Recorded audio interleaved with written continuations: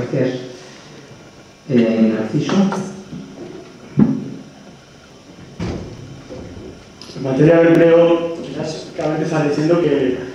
Madrid siempre ha sido una de las Madrid, siempre ha sido una de las regiones de mayor crecimiento y que en la actualidad, desde hace algún tiempo, pues ha dejado de ser el, el motor, el motor de la, de la economía de, del país. Los problemas en materia de empleo de Madrid y de San Sebastián de los Reyes son prácticamente los mismos, son problemas comunes. Como bien decía el presentador, pues excesivo número de, de contratos temporales en nuestra ciudad. El, el, nivel de desempleo entre hombres y mujeres es, está prácticamente a la par. No se fomenta el empleo entre los discapacitados de manera que si el Partido Socialista eh, accediera al gobierno de la ciudad nuevamente, nos, nos propondríamos impulsar y aprobar un, un, plan de empleo para conseguir, entre otros, estos objetivos. Dinamizar los nuevos yacimientos de empleo, impulsar la creación de nuevas empresas en actividades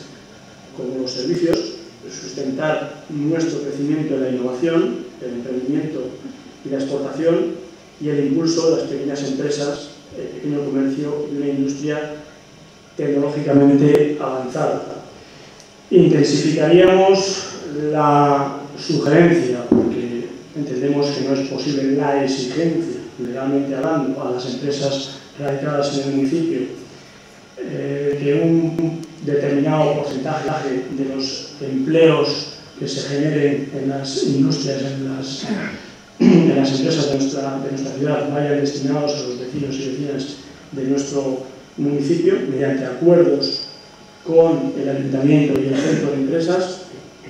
y eh, para nosotros nos parece que es un, un sector y una oportunidad fundamental la creación de puestos de empleo mediante o derivados de la aplicación de la ley de la dependencia. Nuestro objetivo es plantear eh, la ampliación del porcentaje de, empleo público para personas con discapacidad e incluir también dentro de, dentro de este objetivo a las personas con determinadas, perdón, determinadas enfermedades mentales que aunque eh, padecen esas enfermedades, pero sin embargo eso no significa en muchos casos que estén totalmente inhabilitadas para desarrollar una tarea profesional o laboral.